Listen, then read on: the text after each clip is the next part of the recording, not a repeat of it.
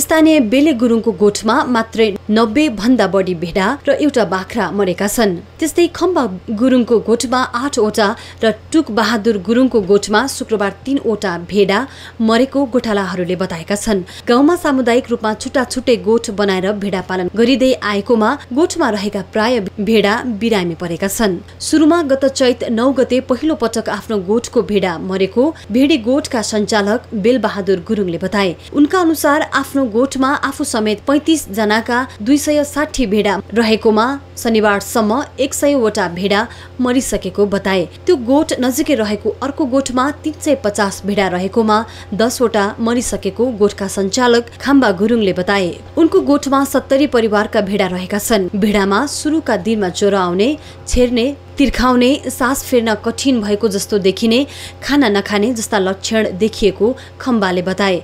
भेडामा रोगको लक्षण देखिएको दुई दिनदेखि चार दिनभित्र मर्ने गरेको उनले बताए। यसबारेमा जिल्ला पशु सेवा कार्यालयमा सम्पर्क गर्दा गत चैत बिस गतेदेखि आफ्नो टोलीले ती गोठमा गएर निरीक्षण गरेको र सो कार्यका पशु चिकित्सक नारायण कुसुमले बताए।